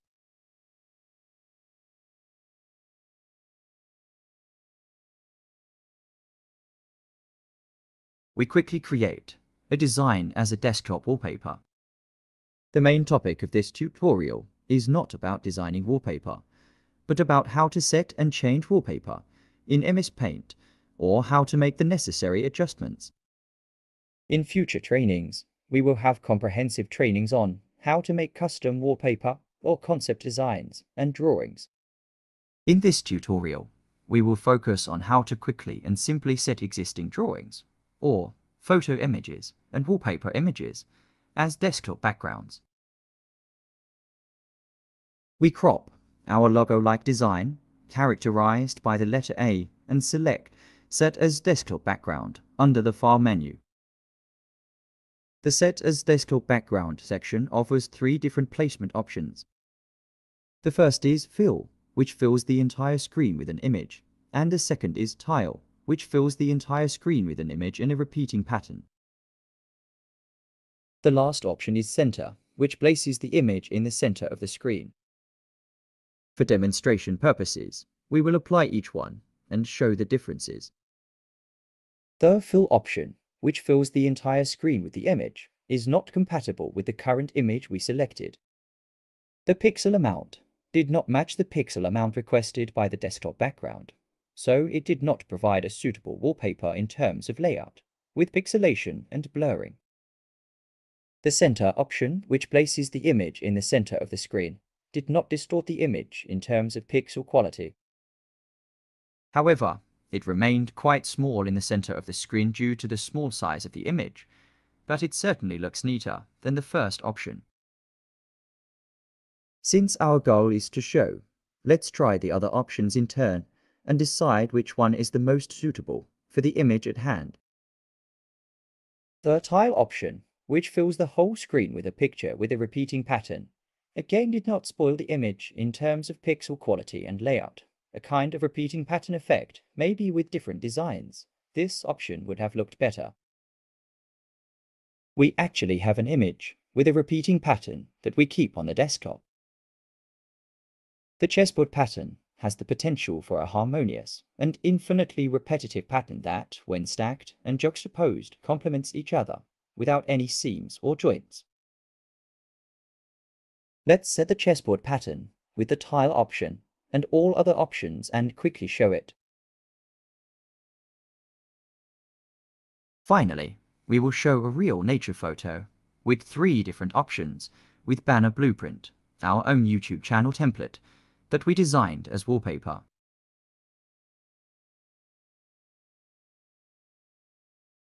As we have shown, we have tried three different options to set some images or photos as wallpaper compatible with the pixel density and aspect ratio they have. Some of these options are quite suitable for wallpaper, while others are not compatible with the respective option and desktop background due to pixel density and aspect ratio.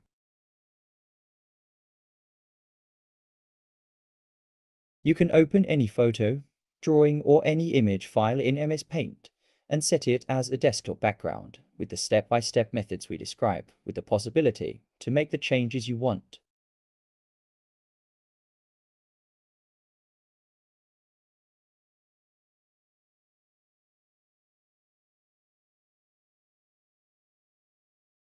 Up to this tutorial, we have shown you many shortcuts. Some of them are basic shortcuts that can be found in any program. These shortcuts included shortcut options based on control and corresponding key combinations for copy and paste and delete or save. There are more MS Paint specific shortcuts and external shortcuts that we will cover in detail in this tutorial. To make program-specific shortcuts visible and active, we press the Up key on the keyboard. If you pay attention, you will notice that capital letters appear above the menus. A shortcut key information appears, with H next to the Home menu, and V above the View menu segment. When we press the Alt key and then the H key, the Home menu will become active and all the relevant shortcuts under the subheading will become visible. Note that the shortcut description text boxes on menu symbols or icons become visible when we hover over them with the mouse cursor and wait for a while. For some commands the shortcut is defined by more than one letter, but alternative shortcuts are also available. For example, the resize option can be activated with the key combination Control plus W or Alt plus H plus R and plus E. The keyboard key combination Alt plus H and T can be used to create text. While clicking on a menu with the mouse cursor and executing a command is actually the fastest option. Shortcuts can sometimes be practical, but usually no more than two key combinations are practical. So, why are there so many key combinations that are not shortcuts? The answer to this question is tantamount to the identity of MS Paint, because although it is a very old and well-established software, it is simple and old school. When MS Paint was designed, it also had features that allowed you to draw with just the keyboard, even if you didn't have a mouse at the point of drawing.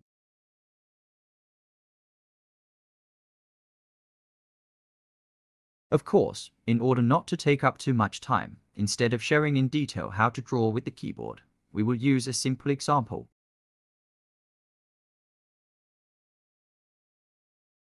The spacebar can replace the left mouse button in MS Paint and even the directional keys on the keyboard can be used for cursor movements. As a result, it is possible to perform almost every operation and drawing in MS Paint without using the mouse at all, just the keyboard.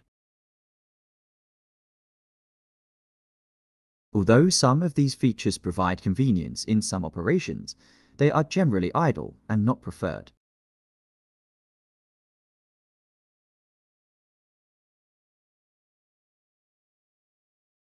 In this tutorial, we will try to explain step by step how to switch from MS Paint to Paint 3D and how to edit with Paint 3D in the most practical way. To get the most out of this training, following this content and our previous and subsequent or other related trainings that we publish in series will help you understand and achieve much more. We open MS Paint and start with a clean and blank canvas with a white background color. Paint 3D is a raster graphics and 3D modeling application that is a revamp of Microsoft Paint. In a moment, we will show you how to switch from the already open MS Paint to Paint 3D and how to use advanced editing tools with Paint 3D in the most practical way. We hover over the Microsoft Paint 3D icon and see a brief description of Edit with Paint 3D in the description text. We open the program by clicking on the icon, or we can access it by typing the program name from the Start menu. As soon as we open the program, we are greeted with a welcome message. If we want, we can uncheck it so that the welcome screen does not appear.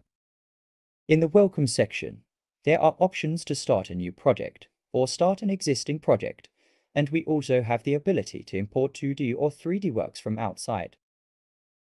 There are two introductions on the welcome screen. Some of the new tools have been presented, of course. We quickly skip these, but we strongly recommend you to watch them. The library and menus with ready-made 2D and 3D assets, the new brushes, the practical, intuitive, user-friendly interface of the menus will attract you. Here, we will quickly present you just a few of the new layouts and advanced tools or features. You will be able to access all of them in our detailed systematic and comprehensive list of Microsoft Paint 3D tutorials on our channel. For old and nostalgic users, we will also continue our content on classic MS Paint. Once you learn or get used to the new Microsoft Paint 3D drawing software, you will realize that it is a great design tool with a user-friendly interface that offers you the possibilities and flexibility of new editing tools. Whether you are an artist or just want to doodle, Microsoft Paint 3D is a great help to unleash your creativity and bring your ideas to life. The classic MS Paint is back with an updated look that gives you even more control over drawing and design and of course, with advanced new features. With tons of new brushes and image editing tools, you can now create things of any size. And not just 2D drawings, you can now create 3D models that you can play with and edit from any angle. Yes, we have come to the end of this training content. If you haven't seen it, we recommend you to watch the previous and subsequent trainings of the series. We will continue the series with more beautiful trainings, and we will be with you again very soon. Don't forget to subscribe and click the bell to receive notifications for new videos. See you again soon, and thanks for watching.